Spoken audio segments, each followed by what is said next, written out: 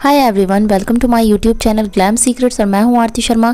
Friends आज मैं आप लोगों के साथ शेयर करने वाली हूँ एक नहीं, दो नहीं, तीन नहीं, बल्कि चार चार तरीके से स्टाइल साड़ी को ड्रेप करने का और साड़ी के सारे स्टाइल बहुत ही खूबसूरत हैं। वीडियो अच्छी लगे तो इसे लाइक करना बिल्कुल भी मत भूलना और चैनल मेरा फ़र्स्ट टाइम देखा है तो चैनल को ज़रूर सब्सक्राइब कर देना। आइए स्टार्ट करते हैं। वीडियो में आगे बढ़ने से पहले एक छोटी सी इन्फॉर्मेशन आप लोगों के साथ शेयर करना बहुत ज़रूरी है। आप सभी को पता है कि मेकअप आज की लाइफ में बहुत इंपॉर्टेंट हो चुका है। बिना मेकअप के लड़कियाँ बाहर नहीं जाती हैं। ऑल्सो मैं वीडियो भी पहले मेकअप करती हूँ, उसके बाद ही बनाती हूँ। तो मेकअप करना is very important for us लेकिन मेकअप को रिमूव करना भी बहुत ज़रूरी है। और आप लोगों को तो पता ही मार्केट में बहुत सारे ब्रांड्स आ चुके हैं अपने मेकअप रिमूवर को लेकर, जिसकी हेल्प से आप अपने फेस से मेकअप तो रिमूव कर लेते हो बट क्या आप लोगों को पता है कि मेकअप को रिमूव करने के बाद भी उसके कुछ पार्टिकल्स कुछ केमिकल्स आपके स्किन में ऑब्जॉर्व हो जाते हैं। उन्हें क्लीन करने के लिए आपको फेस वॉश एक सही फेस वॉश का यूज़ करना बहुत ज़रूरी होता है। और अगर प्रॉपर तरीके से सही वाला फेस वॉश अगर आपने नहीं चुना अपने फेस के लिए तो आपको आगे जाके ब्रेकआउट्स हो सकते हैं, आपके फेस पे पिंपल्स वगैरह आ सकते हैं। तो मैं आप लोगों को इंट्रोड्यूस करना चाहूँगी वाओ के apple cider vinegar face wash से। आप लोगों को सबको पता है कि एप्पल साइडर विनेगर स्किन के लिए बहुत हेल्थी होता है, बहुत हेल्पफुल होता है। तो बट अगर आपने ज़्यादा क्वांटिटी में एप्पल साइडर विनेगर का यूज़ कर लिया तो भी आपकी स्किन को नुकसान पहुँच सकता है। और अगर आपने कम मात्रा में एप्पल साइडर विनेगर के मतलब क्वांटिटी को यूज़ किया तो आपकी स्किन पर वो वो वर्क नहीं करेगा जो कि उसे करना चाहिए। बट जो वाव है, वो अपने एक ऐसे फेस वॉश को लेके आया है जिसमें उसने प्रॉपर तरीके से एप्पल साइडर विनेगर का यूज़ किया है। एंड ऑल्सो उसके साथ और भी कुछ ऐसे इंग्रेडिएंट्स हैं जिनका यूज़ करके फेस वॉश लेके आया है। ये इस तरीके के फॉर्मिंग फेस वॉश को लेके आया है।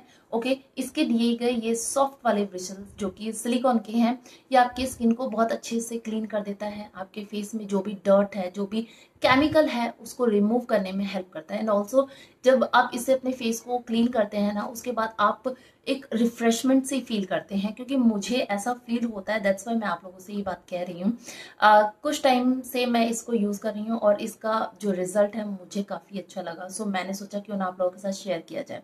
इसका बाई लिंक आपको डिस्क्रिप्शन बॉक्स में मिल जाएगा, आप वहाँ से चेक कर सकते हैं। एंड ऑल्सो मैं एक बात और बताना चाहूँगी वाओ जितने भी प्रोडक्ट्स बनाता है, वो नेचुरल होते हैं।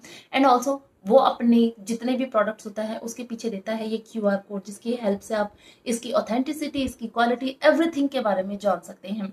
इसमें जितने भी इंग्रेडिएंट्स हैं मैं आपको एक एक करके फटाफट से बता देती हूँ। इसमें यूज़ किया गया है organic Himalayan apple cider apple cider vinegar aloe vera extract vitamin B और बी फाइव और ई e, ठीक है? यानी कि ये सारे के सारे जो इंग्रेडिएंट्स हैं आपकी स्किन के लिए बहुत अच्छे हैं। सो so, अगर आप भी चाहते हैं एक परफेक्ट फेस वॉश को यूज़ करना तो आप इसको एक बार चेक कर सकते हैं और इसको लेके इसको मंगा कर यूज़ कर सकते हैं। तो अब अपनी स्टार्ट करते हैं। बाकी की video let's get start with the video okay okay, सबसे पहले हम कैन कैन पहन लेंगे और ये कैन कैन मैंने अमेज़ोन से मंगाई थी तो इसका बाई लिंक आपको डिस्क्रिप्शन बॉक्स में मिल जाएगा और ये मैंने स्कर्ट जो मैंने पहन रखी है ये मेरी मेरी ड्रेस के साथ आई थी तो वही वाला पहन लिया। साड़ी जो मैं पहनने वाली हूँ ये मैंने झील शॉप डॉट कॉम से मंगाई थी इसका बाई लिंक आपको डिस्क्रिप्शन बॉक्स में मिल जाएगा। एंड ऑल्सो इसका जो फैब्रिक है वाकई में बहुत अच्छा है ठीक है? अब पहनना शुरू करेंगे। तो साड़ी के फ़र्स्ट कॉर्नर को हम लेफ़्ट हैंड साइड में इस तरीके से कमर में टक कर देंगे। ठीक है? टक करने के बाद हम आते हैं फ्रंट प्लीट पर। ठीक है? कमर की जो प्लीट्स होती हैं, उनको बनाना शुरू करेंगे। थोड़ी चौड़ी चौड़ी प्लीट्स बनानी होंगी यहाँ पर।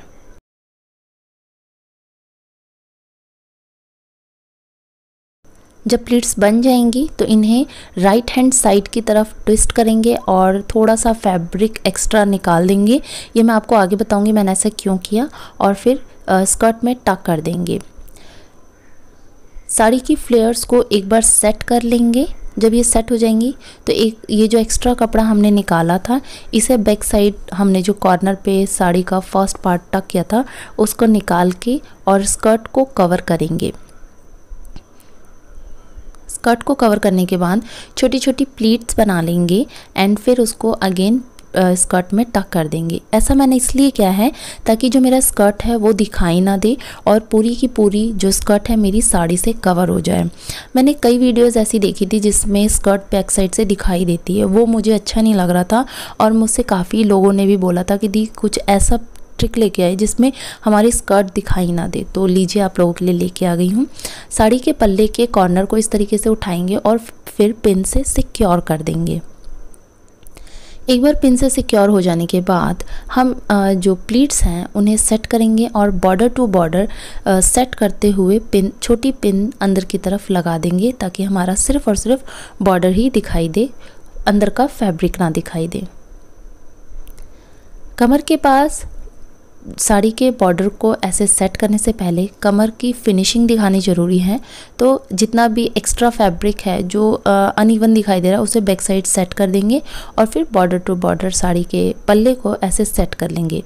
तो फ़र्स्ट स्टाइल तैयार हो चुका है। अब हम इसमें फिनिशिंग लेके आने वाले हैं। तो मैं आपको दिखाती हूँ फाइनल टच कैसा है इसका। तो कॉर्नर पे हम साड़ी की पिन लगा लेंगे और कमर में कमर बंद भी पहन सकते हैं या फिर साड़ी की बेल्ट भी पहन सकते हैं। तो ये है मेरा फाइनल लुक कैसा लगा मुझे ज़रूर बताना। आपके कमेंट का वेट हमें मुझे हमेशा रहता है। आप ज़रूर बताना कि आपको कौन सा स्टाइल ज़्यादा पसंद आया।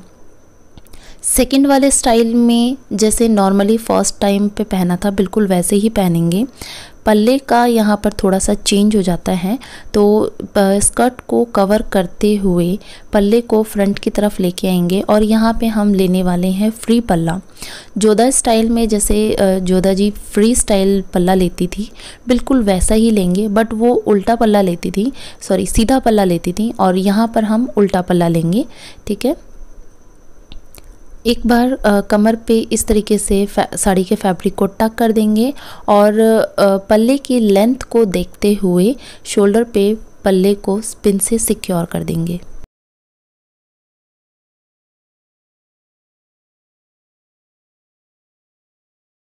ये है सेकंड स्टाइल तो पिन से सिक्योर कर दिया है और ये वाले एरिए को हम पिन से सिक्योर कर देंगे ताकि पूरी फिनिशिंग आ जाए।